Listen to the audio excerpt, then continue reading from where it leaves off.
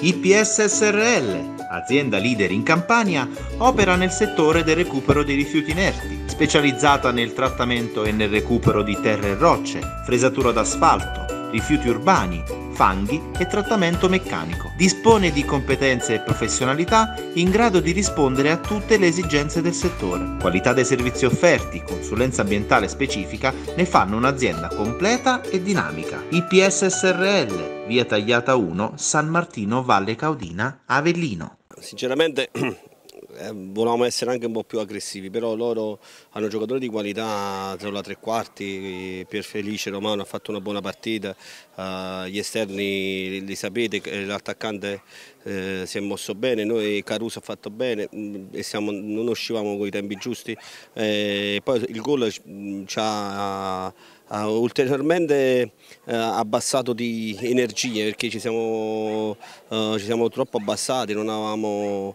più quello spunto per andarli a prendere e quindi il primo tempo abbiamo fatto male per quello che abbiamo visto. Il secondo tempo è iniziato allo stesso modo, però poi dopo ehm, loro sono canati perché purtroppo hanno varie defezioni, quindi non possono cambiare molto e mettere molta qualità. Noi invece eh, abbiamo potuto mettere dei giocatori importanti che stavamo aspettando come Della Monica, De Mari, La Luna, Castaldi, eh, Mesisca, quindi oggi la differenza l'ha fatta la, la, completezza della rosa è quello che ci ha, ci ha consentito di, di, vincere.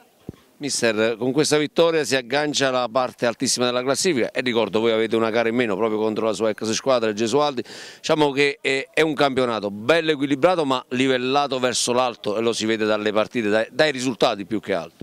Vabbè, adesso la classifica eh, non dà non ha, non ha molta importanza. Eh, noi sappiamo il, qual è il nostro ruolo in questo campionato, eh, dobbiamo crescere, dobbiamo migliorare, dobbiamo fare meglio partita dopo partita.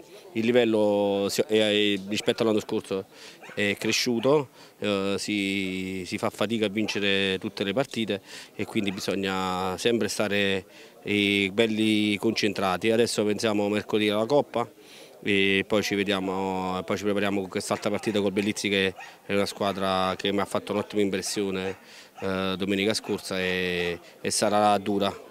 Grazie a lei mister.